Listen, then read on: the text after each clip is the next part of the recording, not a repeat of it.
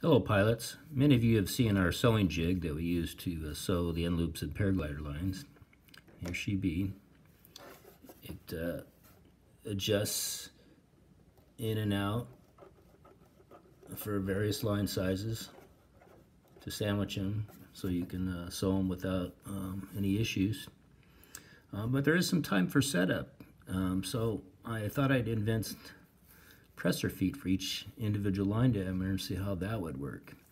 Um, this works fantastic. I mean, your stitches are perfect uh, once you get it set up. And it takes about hmm, two to three minutes to set it up for each line diameter.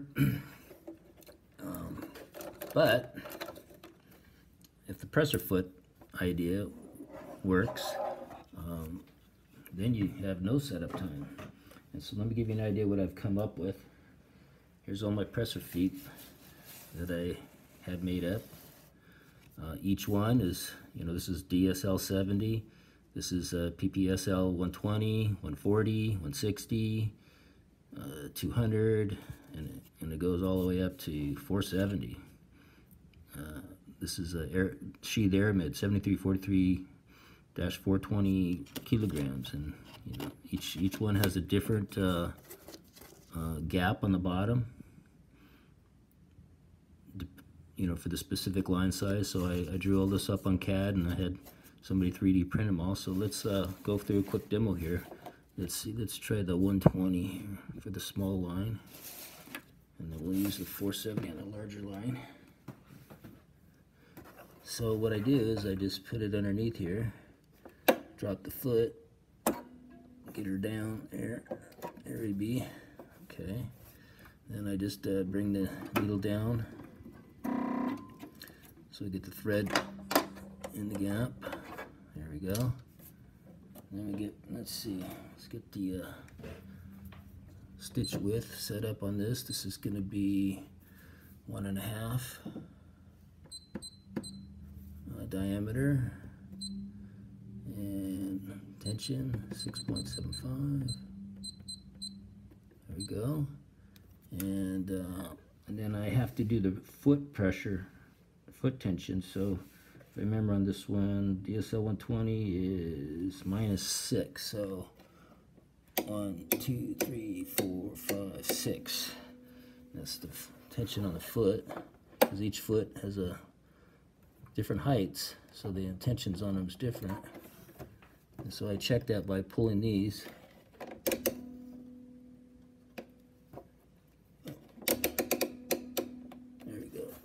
Okay, foot tension's right. And then we go ahead and bring the needle down. Uh, let's do reverse to start off with.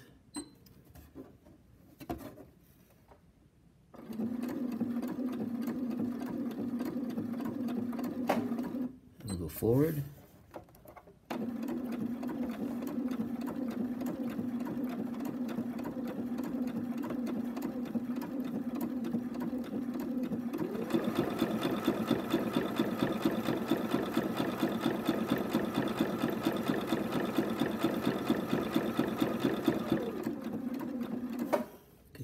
Okay,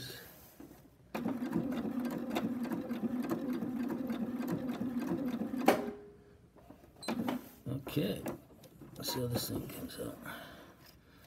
So, you can see it's just perfect. Now I'm using a, a needle size and a thread size that's for a larger diameter line, but for the sake of expediency here, um,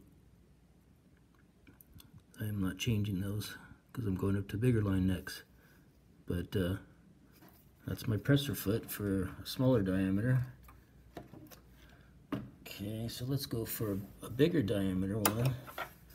Uh, let's see here. Let's grab the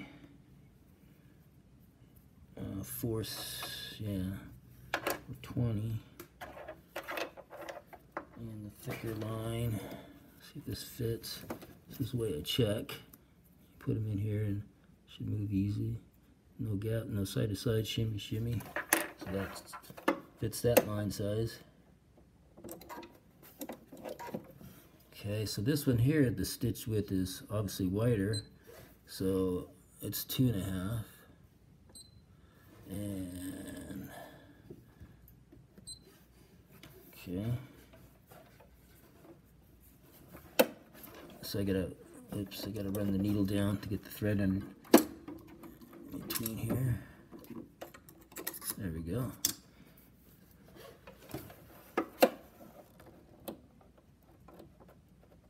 And so my foot pressure on this one is minus five.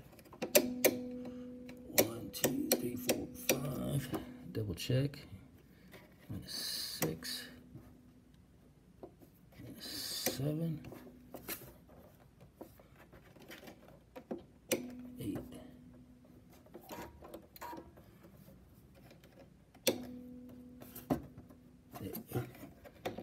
Eight. Okay, there we're good. So we're good on the tension. So now we'll go do reverse. Get my needle down started.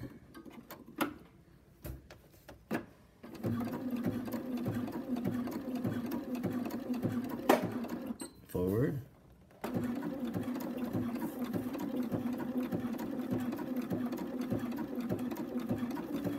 Whoops, I cut my tail.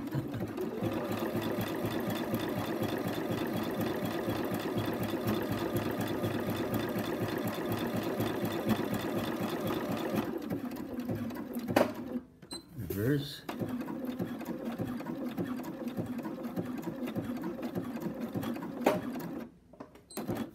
Okay.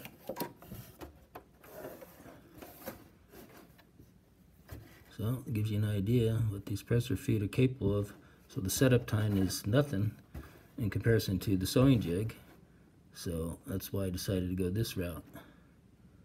Uh, thank you for watching.